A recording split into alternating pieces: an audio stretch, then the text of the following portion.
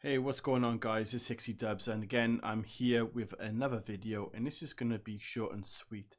Uh, basically, um, I had problems with launching Marvel Ultimate Alliance um, in terms of if I wanted to do something else while I was playing the game, for instance, bring up a website or another uh, program, for whatever reason, you can't multitask. You can't window the game. It's extremely annoying but there is a way to do that. And it's called DXWind or DXWND. And this nice little program, link will be in the description. This nice little program, when you download it, you can uh, open up a window like this. You add the game and then you launch from here. So I'm going to go through with you very, very quickly because it's uh, it's very easy. You just go to the website, you download the program into a folder here. So I, I've put it on my desktop so I can access it much more easily. Um, so once you've done that, you open up here and you open up this little program here called DXWND. And once you open up, you should have something like this, but you won't have the icon here. What you need to do is right click, add, and you name whatever the program you want.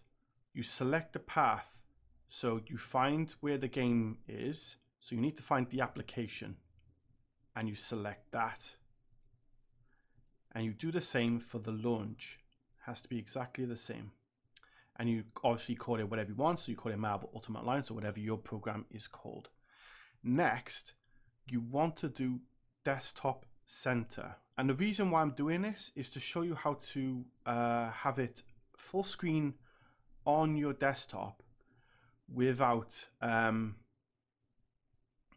uh, without it being pixelated or because the first time you load it is uh, is in a certain coordinate and it'll come up in a little box by here and you don't want that.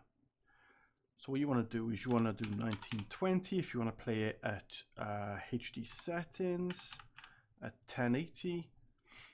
Um, and then next you want to go to, uh, where is it? Video. And you want to go here to, see, th this works for me. It might not work for you.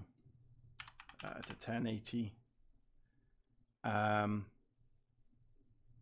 and you want to click on initial resolution. And that should be it. And then you click OK.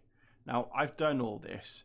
So um, I can just show you my settings here. Um, they're exactly the same. Desktop center, 1920 by 1080. Um, I didn't click initial resolution.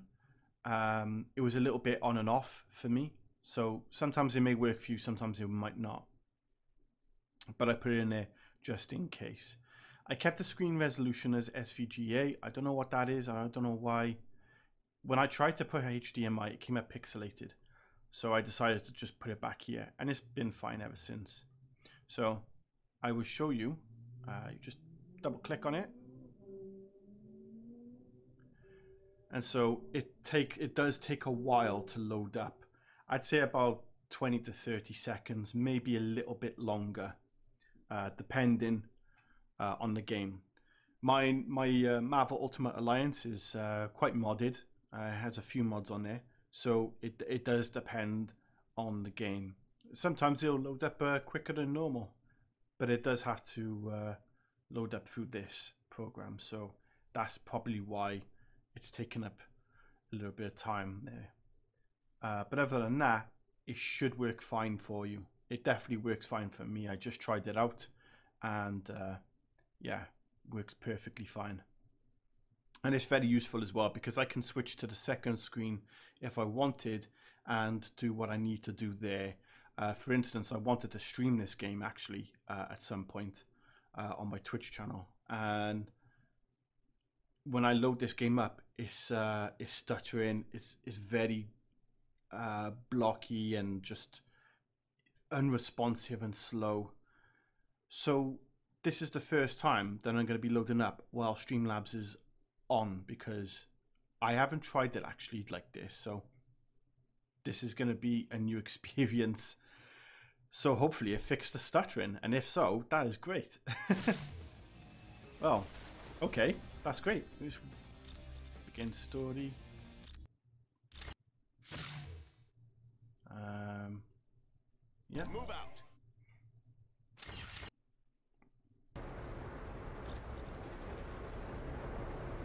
Right.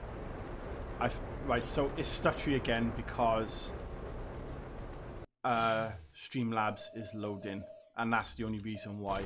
Other than that, as you can see, it works. You know, I got my mouse. I can go over here and then come back over here. So the the only reason why it's stuttering it is because of, it, it's not responsive well to Streamlabs OBS. I don't know why. I will have to try and find another way of recording gameplay or streaming it because um, yeah, it's not good. Um, I mean, the main thing is I might want to. I, I, just want to record gameplay for this. So I don't know what program to use for that. I may use try with uh, Fraps and see uh, if that works. But even then, if I wanted to stream the game, I can use Streamlabs OBS. Uh, it's not going to work for me. But anyway, other than that, this video is about DX windowed, so it works fine for that. So, any questions, guys? Just be sure to put in the descript uh, in the uh, comment section below, and I'll get back to you as soon as possible. But it should work for some games, not all. I just want to make that point there. It may not work for all games. This is not a hundred percent solution for all your gaming needs, but this will work on certain games. So if you have any questions or any issues, just be sure to post them and I'll uh, I'll try and reply and get back to you. But other than that, I hope you've enjoyed the video and I hope this has been uh, informative and uh, useful for you. And that's it. I'll uh, catch you in the next video, guys. Take care. Bye bye.